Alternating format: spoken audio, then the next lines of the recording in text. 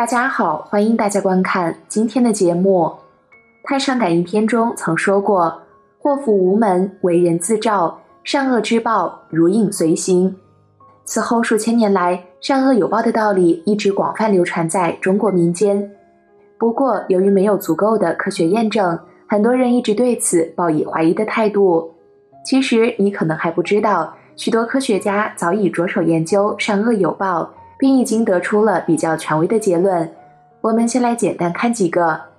美国耶鲁大学和加州大学研究人员连续九年跟踪调查了加州阿拉米达县近七千位居民，得出了人的善恶观念影响寿命长短的结论。从心理角度来看，一个乐于助人的人可以激发他的友爱感激之情，他从中获得的内心温暖能缓解在日常生活中常有的焦虑。而且，经常行善还有益于人体免疫系统。反之，一个心怀恶意、损人利己的人，寿命则比较短。如一个心脏病常常发作又对他人怀着敌意的人，其心脏冠状动脉堵塞的程度就越大。再如，视别人处处为敌的人，往往一触即发，暴跳如雷，容易使血压升高，甚至酿成任何药物都难以治愈的高血压。至于贪污受贿和盗窃之类的人，因做贼心虚，易失眠、烦躁、精神压力很大，这种人的寿命也比大多数人短。美国心理学家吉尔曼和他的学生在历时长达七十多年中，对加州各中学八百六十五名男生和六百七十二名女生，每隔五至十年反复进行详细心理测试。到一九九一年，这些被测试的学生中有一半男生和三分之一女生在世。通过对死亡者心理特征与其寿命对照研究表明，那些从少年时就表现出性格诚实、遵守信用及责任心强的人，比之不够自觉、不够踏实的同龄人要多活二到四年。此外，他们统计还发现，少年罪犯的身体虽然比起同年龄的守法少年强壮，但他们步入中年后，健康状况会急速下降，住院和残疾风险比正常人高出数倍。美国凯斯西楚大学前生命伦理学教授、现实习大学教授史蒂芬·波斯特和小说家吉尔奈·马克，从现代科学和医学角度出发，对人的种种善行在付出与回报之间究竟能产生什么样的关系，进行了深度研究。研究人员制定了一个详细测量表，并长期追踪一些乐于付出的人，分门别类地对每一种付出带来的回报进行物理统计和生理分析。从而找出付出产生的医疗作用和快乐指数。宅心仁厚、乐善好施的人，他们的善行确实会对自身心理和身体健康产生巨大而深远的影响，其自身的社会能力、判断能力、正面情绪以及心态等都会得到全面提升。哪怕是对别人一个会心的微笑，传递一个友好幽默的表情，都会引起唾液中免疫球蛋白浓度增加。在综合了四十多所美国主要大学一百多项研究成果后，并结合长期追踪的实验报告显示的数据，他们得出了令人惊讶的结论：付出与回报之间存在着神奇的能量转换秘密，即一个人在付出的同时，回报的能量正通过各种形式向此人返还，只不过在大多数情况下自己浑然不知。此外，科学家也在神经化学领域研究中发现了一种现象。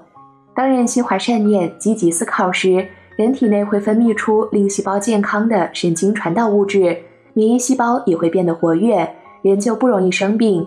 正念长存，人的免疫系统就强健。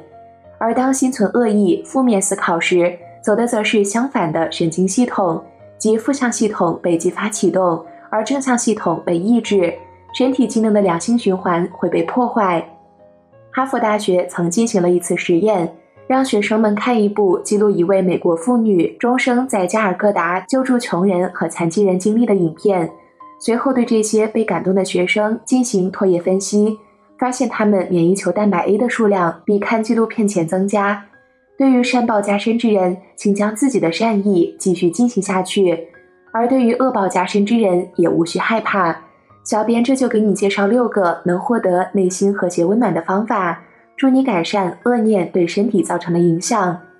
一、倾听你的身体，没有人比你自己更了解你的身体。和身体保持密切的联系，感知它一朝一夕的感觉。这不仅仅能使你发现，在日常生活中怎样可以让自己感觉更棒，也可以帮助医生为你选择最佳的治疗方案。因为学会感知自己后，你和医生就都能对身体发生的副作用有所察觉。试着记下两天之内每半个小时你所做的事情，不管你是在装卸洗碗机、在读书，还是步行去取车，以及你对这些事情做出的情感反应。用零到十个等级来评估你的疲劳水平和任何生理上的不适程度。零代表你感觉不到任何疼痛或疲惫，十代表你疲惫不堪。两天结束后，检查你的记录，你感觉最好的是什么时候？最差的是什么时候？想一想哪个部分可以做一些改变，来让自己感觉更好。坚持做记录，还可以帮助你意识到日常行程中的哪些习惯可能不太适宜，然后找到健康又适合自己的生活习惯。二有烦恼也不要担心，保持一种积极的态度，并不意味着你永远都不能有脾气暴躁的时候。糟糕的情绪和压力也是日常生活的一部分。尤其是当你在对付健康问题时，更是如此。所以，不要集中注意力去设法控制你的情绪，而是要告诉自己，此刻担心没有关系。另外，要计划进行一到两项活动来放松自己，试试冥想，或是读一本书，或是简单的抽出五分钟时间，慢慢的吸气，数到五秒，再慢慢呼气，也数五秒，重复数次。关键是要做一些事情来缓和身体对压力的反应，这样反过来会帮助你治愈。你可以试试渐进性肌肉放松法，就是交替拉紧和放松肌肉。找一个舒服的姿势，或躺或坐，从你的头部开始做起，先咬紧牙齿，数到十秒后放松下颌，吸气，然后呼气，让面部平静，就像睡着一样。接下来收缩肩膀上的肌肉。数到十后放松，然后下移到整个身体，胸、腹、大腿、胳膊、手、腿和脚都重复这个动作。另一种有效的压力释放法是形象化方法，即集中注意力在一个具体的、舒服的和有意义的场景上，例如和心爱的人漫步在沙滩上或拥抱等等。三，在一张纸上列出你可以控制的事情。生病或受伤会使你觉得自己脆弱无助，但是在治疗过程中的大部分时间，实际上都是你在掌控。强调那些你可以控制的因素，可以帮助你在情绪上获得更好的感觉。反过来，这也会产生一种积极的生理影响。写下三个可以帮助你治愈的可行目标，依据你自身健康问题的特点，你的列表上可以包括每周上一节瑜伽课，周日晚上十点之前上床。你要记住一点，要保证你的目标都实际可行。然后写下三件你本周可以为实现这些目标所要做的事情。例如，也许你需要雇一个保姆，这样你就可以去参加瑜伽课；或者你应该找人帮忙做家务，这样你才能早些上床休息。在每周结束时，例如星期天晚上，在记录上标出你的进展，写下你实现了哪些目标，以及你是怎么实现这些目标的。把这一切都写在纸上，不仅仅可以帮助你保持动力，也可以给你一些正面强化。四，给你的大脑输入正面信息。打开电视、浏览网页、听音乐或看报纸，都会有铺天盖地、乱七八糟的消息向你袭来。当你不要想那么多压力时，很重要的一点是要过滤掉这些负面信息，因为它们会引起不必要的压力。用积极的、向上的信息来对抗这些负面信息，需要很多努力，但这是完全有可能的。例如，读一本有肯定力量的书，读一个以幸福收场的故事，听轻松欢快的音乐。你的朋友打电话来或是顺便拜访时，让他们给你讲个笑话或幽默故事。如果最近你过得不太快乐或是压力颇多，那尽量不要浏览新闻信息。尝试每天至少给大脑输入两到三件还有积极讯息的事，以鼓舞自己的情绪，帮助身体的恢复。五、坚持每天锻炼。如果能把锻炼包成一粒药丸的话，毫无疑问，这将成为医生所能开出的最受欢迎的药方。每个人都知道，锻炼使人保持身体健康强壮。但是研究也表明，锻炼可以帮助你恢复得更快。也许是因为锻炼能促进免疫系统的活动，激发自己锻炼的积极性，也许很难。尤其是当你觉得疲惫或虚弱的时候。但是你每天不论锻炼多少，都能对你的身体和情绪有帮助。在生活中，有一种完全无痛苦的锻炼方式，就是当你打电话的时候，到处溜达一下，边说话边散步，即使仅仅是绕着房子走一圈儿。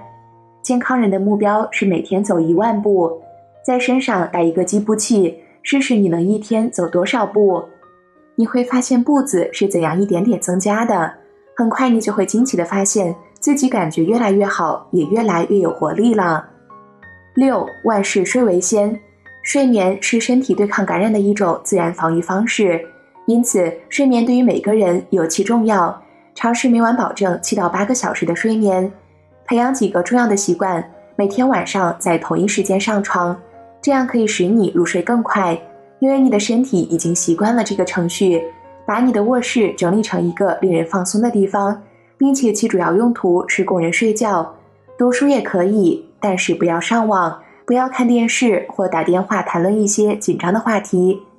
同时，也不要有一些打断睡眠的习惯，比如睡前饱餐一顿或睡前饮酒。患疾病或有损伤的人有睡眠问题是很普遍的，尤其是很多药物可能会影响睡眠。要确保和医生讨论你的睡眠类型、睡眠习惯和精神状态。这样，医生就可以帮助你达到最好的效果。掌握了以上六点后，假以时日，你的内在力量将会被彻底找回。到了那一刻，由恶报所产生的恶意，自然也就被清除了。正如古人所讲的“正气存内，邪不可干”。好了，今天的内容就和大家分享到这儿了，我们下期节目再见。